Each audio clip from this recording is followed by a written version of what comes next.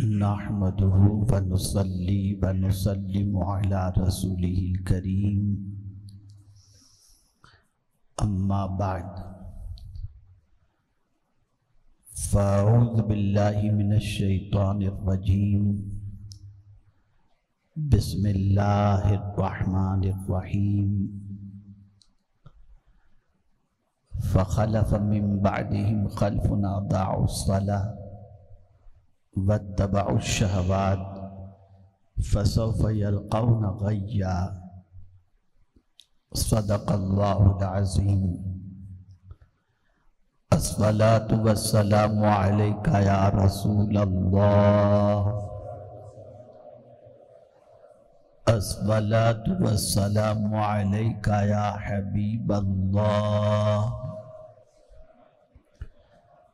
वस्सलामु अलैका या नबी अल्लाह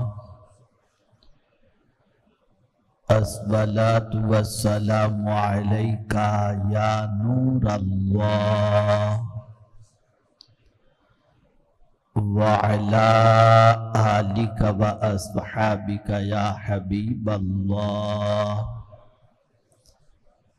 सल्लल्लाहु ताला अलैहि वसल्लम। बिस्मिल्लाहिर रहमानिर अल्लाहुम्मा सल्लि वसल्लिम व बारिक अला सय्यिदिना व मौलाना मुहम्मदिन अन्नबी अल उम्मी अल अलक़द अलअज़ीम अलजाह व आलिही व सहबिही व बारिक वसल्लिम जज़ाकुमुल्लाहु खैरा मेरे प्यारे आका सल्लल्लाहु ताला अलैहि वसल्लम के प्यारे दीवानों एक सुलगते हुए मौजू पर गुज़िश्ता जुमा आपने कुछ बातें समात फरमाई थी। ऐसा ही एक सवाल फिर से मेरे सामने आ गया। और वो सवाल ये है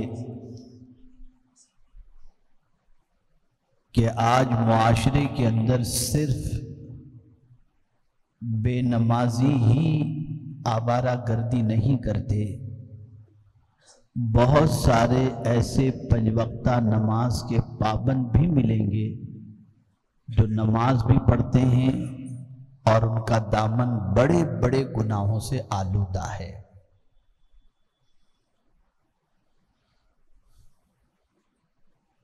तो जब नमाज़ पढ़ते हैं तो नमाज़ तो बेहयाई और बुरी बातों से रोकने वाला अमल है। फिर इनकी ज़िंदगी में नमाज़ का असर क्यों नज़र नहीं आता?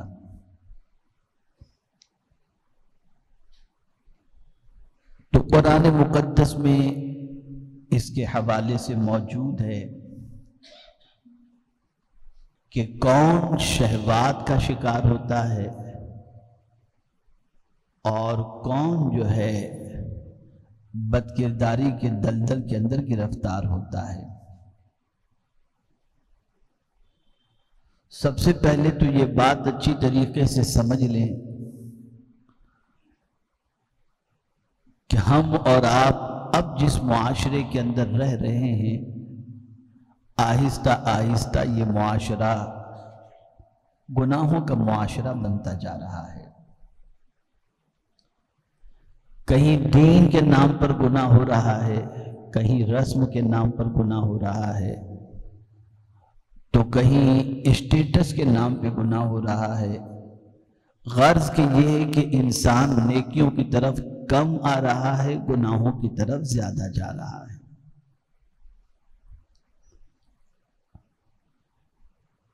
आप महसूस कर सकते होंगे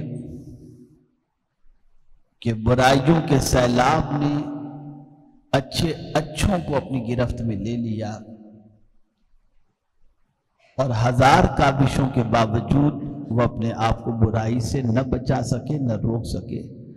बल्कि लाशऊरी तौर पर कहें या किसी भी तरह से वो गुनाह में गिरफ़्तार हो गए। एक छोटी सी मिसाल आपके सामने पेश करूँ कि अब अल्लाह रहम करम फरमाए बद किरदारी के अंदर माँ बाप भी अपना रोल अपने बच्चों के लिए प्ले करते नज़र आते हैं। यानी अगर मैं ये कहूँ तो गलत ना होगा कि माँ बाप खुद सपोर्ट करते हैं, बल्कि प्रोमोट करते हैं बुराइयों को। कभी हमने ख्वाब ख्याल में नहीं सोचा था कि ये दौर भी आएगा, लेकिन आज हम देख रहे हैं। एक इत्तला के मुताबिक कि चंद माएँ अपनी बच्चियों से कहती हैं, बेटी, ऐसे लड़के को फंसाना जिसके पास माल दौलत हो। ये नहीं कि किसी फुटपाथ छाप से दोस्ती कर ले, फिर उसके बाद तेरी ज़िंदगी बर्बाद हो जाए, ये भी सुनने को मिल रहा है।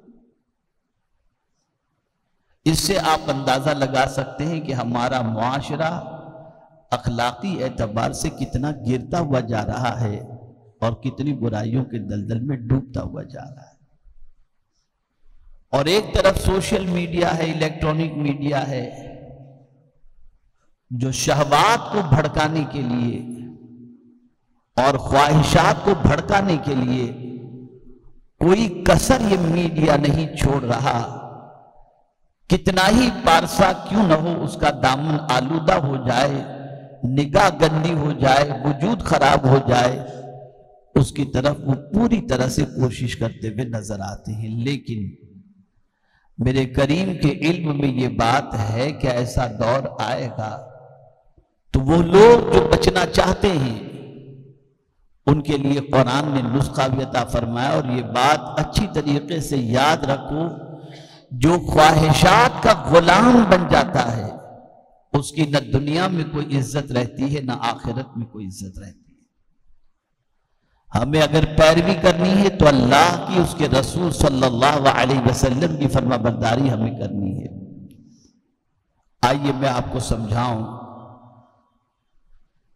कि नमाज़ पढ़ने के बावजूद भी इंसान क्यों बुराइयों के दलदल में गिरफ़्तार हो जाता है, गिर जाता है और उसका दामन आलूदा हो जाता है। तो कुरान ने मेंशन किया एक तरफ़ तो वाज तौर पर नमाज़ न पढ़ने की बात कही। और एक तरफ़ यह है कि पढ़ना भी है, लेकिन किस तरीके से पढ़ना है जिसकी वजह से उसकी ज़िंदगी शहबात में गिरफ़्तार हो जाती है। फ़खलफ़ मिन बादिहिम खलफुन अदा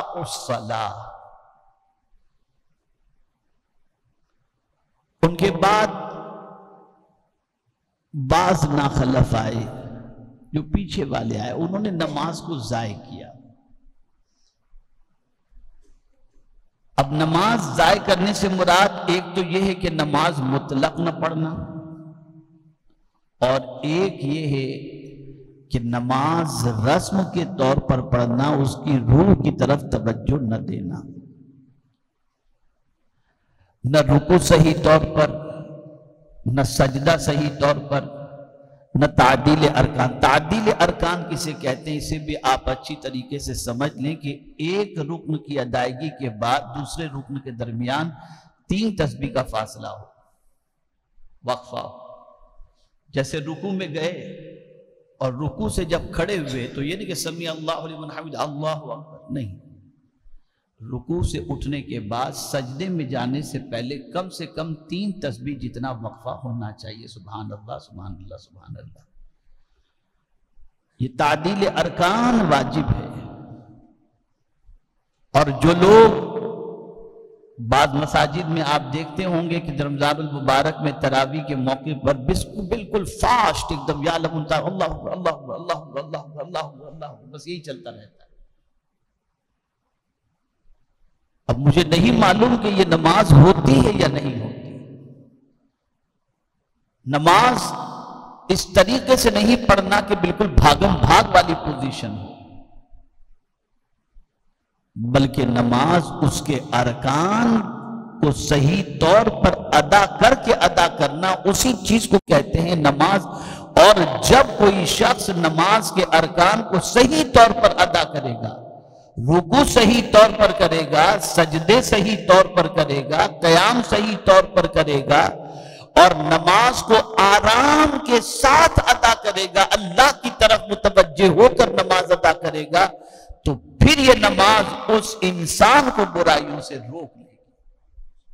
आज जब नमाज़ पढ़ते हैं तो हमारा ख्याल पता नहीं कहाँ कहाँ होता है। इसीलिए एक बुज़ुर्ग बड़ी प्यारी बात फरमाते हैं। एक शख्स को आपने देखा कि नमाज़ की हालत में यूँ देख रहा है और नमाज़ पढ़ रहा है। फरमाते कि गैब से आवाज़ आती है, मेरे बंदे, क्या मुझसे भी कोई खूबसूरत है जिसे तू देख रहा? इसलिए हालत नमाज़ में हमारी निगाह सजदागाह की तरफ़ होनी चाहिए। जब पढ़ने ही के लिए आ गए हैं और अल्लाह ने तोफीक दे ही दी है तो उसको सही तौर पर मुझे याद है। मेरे उस्ताद गिरामी रईसुल मुफसरीन जो इस वक्त छियासी साल की उम्र के हैं कमोबेश माह रमदान में हाफिज साहब से कहते हैं, हाफिज साहब, जरा आराम आराम से पढ़ना, कोई लफ्ज कटना नहीं चाहिए। भले जितना वक्त लगे। जितनों को पढ़ना हो पढ़ेंगे, जितनों को नहीं पढ़ना हो, जहाँ जाना हो चले जाएँ। लेकिन नमाज़ हमारी दुरुस्त होनी चाहिए। एक हर्फ भी कटा तो इन हम मुजरिम होंगे। इंदर रसूल हम मुजरिम होंगे। इसलिए नमाज़ को बहुत आराम से सुकून के साथ। इसीलिए कुरान ने मुनाफिक की नमाज़ और मोमिन की नमाज़ का फ़र्क बताया। अब जरा इस फ़र्क को समझे। और फिर अपनी नमाज़ का जायजा ले। मुनाफिक भी नमाज़ पढ़ता है। मुनाफिक किसे कहते हैं? दो मुँह वाला। गैर मुस्लिमों से मिले तो कहे, मैं आपके साथ, मोमिनों से कहे तो मैं, कहे, मैं आपके साथ। वहीदा लकुल्लदीन आमनु कालू आमन्ना। वहीदा खलव इला शयाती नहीं कालू इन्ना माकुम। ज़ाहिर में बताते हैं कि हम ईमान वाले हैं। लेकिन अंदर से जब शैतानों से मिलते हैं तो कहते हैं, हम तुम्हारे साथ हैं, मोमिनों से मिलते हैं तो कहते हैं, हम तुम्हारे साथ हैं। और जब उनसे पूछा जाता है, ऐसा क्यों करते हो? तो कहते हैं, हम तो मज़ाक उड़ाते हैं। इन इन्नमा नाहनु मुस्ताज ये कुरान के अंदर ये कुरान के अंदर तो ऐसे लोग उनकी नमाज़ का कुरान तस्करा फरमाता है।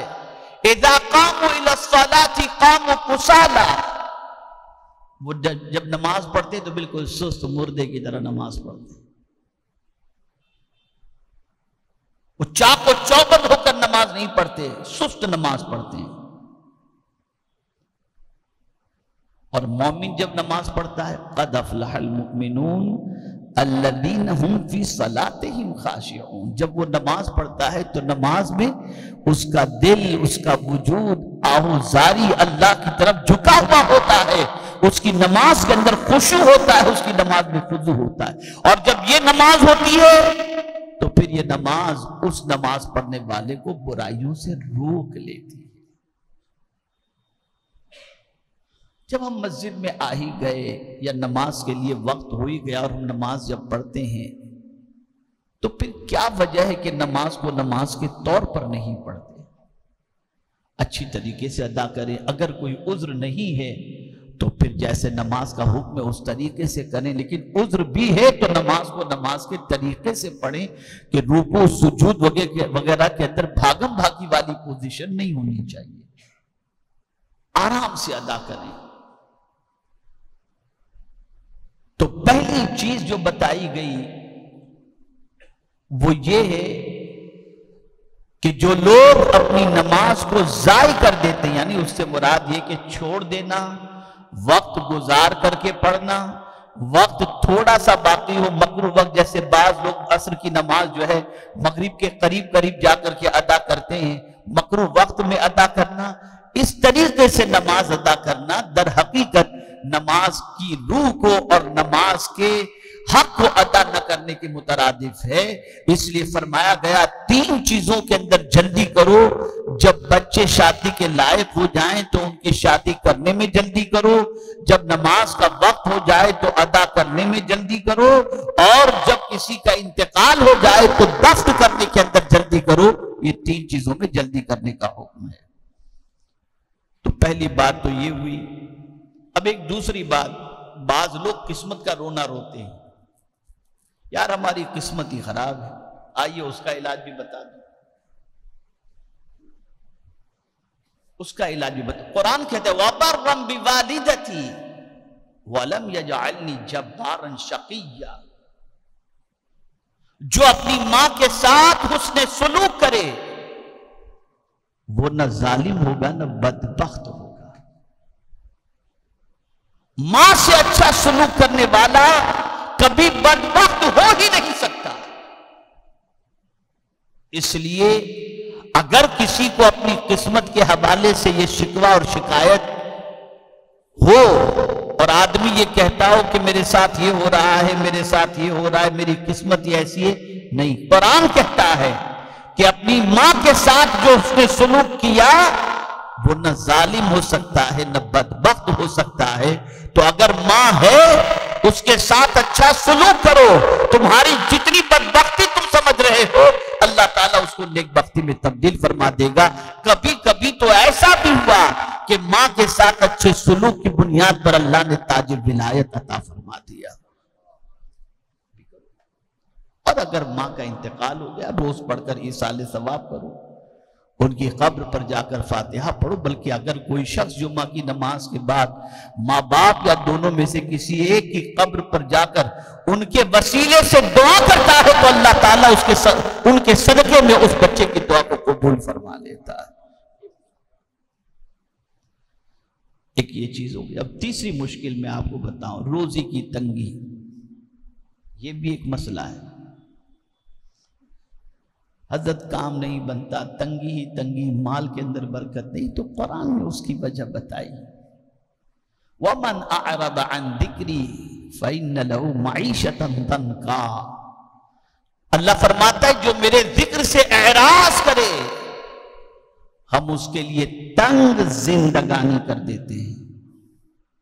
यानी जो कुरान से एराज करे, अल्लाह की किताब से अपने ताल्लुक को कमज़ोर कर दे अल्लाह की किताब पर ना अमल करे, ना अल्लाह की किताब की तिलावत करे।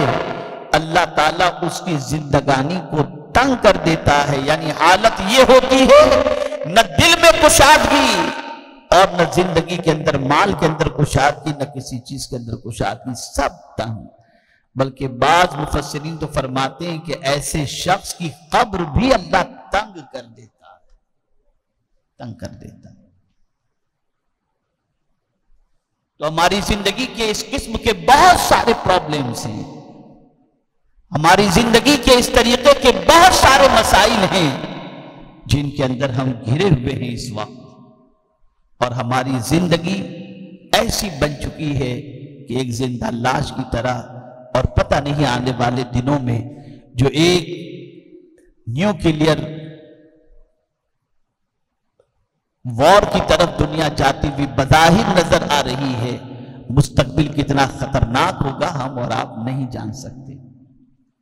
दुनिया के हालात पर गहरी नज़र होनी चाहिए, ताकि फ्यूचर की प्लानिंग अच्छी तरीके से बन सके। हमारी प्लानिंग तो बस इतनी है कि आज रात को ढाबे पे खाने जाएँगे, आज रात को ये खाएँगे और कल ये खाएँगे, परसों ये खाएँगे, बस इसके अलावा कुछ है ही नहीं। शिकम परवरी का आलम यह है कि अलियाज बिल्ला दुनिया के हालात पर नज़र रखो। क्या हो रहा है दुनिया में हमें कैसे जीना चाहिए? और इसी के साथ हम कैसे मरे, इसकी भी फ़िक्र होनी चाहिए कि हमारी मौत किस हालत के अंदर हो और हमारी ज़िंदगी किस तरीके से गुजरे। तो ये सारी सिचुएशन हमारी ज़िंदगी के कई प्रॉब्लम्स हमारे सामने हैं और हम इन प्रॉब्लम्स का सॉल्यूशन अपने एतबार से तलाश करते हैं तो नहीं मिलते। लेकिन कुरान के जानने वाले, दीन के जानने वाले जब रहनुमाई करते हैं तो हम इन प्रॉब्लम्स का सॉल्यूशन हासिल कर लेते हैं। इसीलिए सुन्नी दावत इस्लामी का बैन सुन्नी इज्तम वादी नूर आज़ाद मैदान में रखा गया है, जो इनशाला आइंदा जुमा से शुरू होगा। इन लजीम इंग्लैंड, अमेरिका, ऑस्ट्रेलिया, हॉलैंड, इन सारे इन ममालिक से भी अल्हम्दुलिल्लाह दुआत और तशरीफ़ ला रहे हैं और रहनुमाई करेंगे। और आप देखते होंगे कि हिंदुस्तान के मुख्तलिफ़ इलाकों ही से नहीं, दुनिया के मुख्तलिफ़ इलाकों से लोग इस इज्तम में शरीक होते हैं। बंदगान खुदा का एक तांता बाँध यानी समंदर की तरह एक इंसानों का हजूम नज़र आता है। और बहुत सारे ऐसे होते हैं जिनकी जिंदगियाँ उस इज्तम से ऐसी बदलती हैं कि बदलने के बाद आज वो दीन के राही बन गए, दीन के मुसाफिर बन गए। आपकी मुकम्मल ज़िम्मेदारी है कि आपने आना भी है, उस इज्तम के अंदर लोगों को लाना भी है, उस इज्तम को कामयाब करने के लिए भरपूर कोशिश करनी है। मैं आपको एक बात से फ़र्ज़ करूँ कि हुजूर मुफक्र इस्लाम जब 93 94 की बात है कमोबेश वादी नूर इज्तम में जब तशरीफ़ लाए थे तो इज्तम के शुरू होने से पहले वादी नूर सिर्फ़ जायजा लेने के लिए पहुँचे थे। औरतों के इज्तम की रात को, यानी मर्दों का इज्तम शुरू नहीं हुआ था, रात को सिर्फ़ इज्तम देखने के लिए पहुँचे। एक शख्स दूर दराज का आया हुआ मैदान के अंदर बैठा था, उसके पास एक कपड़े की थैली थी। हज़रत ने फरमाया, इसमें क्या है? तो कहा, हजूर, तीन रोज में यहाँ कयाम करूँगा तो तीन रोज का खाना मैं लेकर के आया हूँ। इतना पैसा मेरे पास नहीं है कि मैं यहाँ पर खरीद करके खाना खा सकूँ। तो मैं रोटी और अचार लेकर के आया हूँ और मैं बहुत दूर से, कई किलोमीटर दूरी से यहाँ पर आया हूँ, ताकि मैं तीन दिन तक इस इज्तम में बैठकर दीन भी सीखूं और अपनी आखिरत को संवारने की कोशिश भी करूँ। हज़रत की आँखों में आँसू आ गए थे और हज़रत ने फरमाया, ऐसे लोग भी इज्तम के अंदर शरीक होते और इस तरीके के कई बुज़ुर्ग भी तशरीफ़ लाते हैं। बेशुमार तादाद ओलमा की होती है, लेकिन हमारे अंदर अब भी खाने पीने का इतना शौक है, यार उधर शादी में जाना है, उधर इधर जाना है। सारी शादियाँ यहाँ पर मुंबई में दस के बाद चलती रहती हैं, कोई बंद नहीं होती।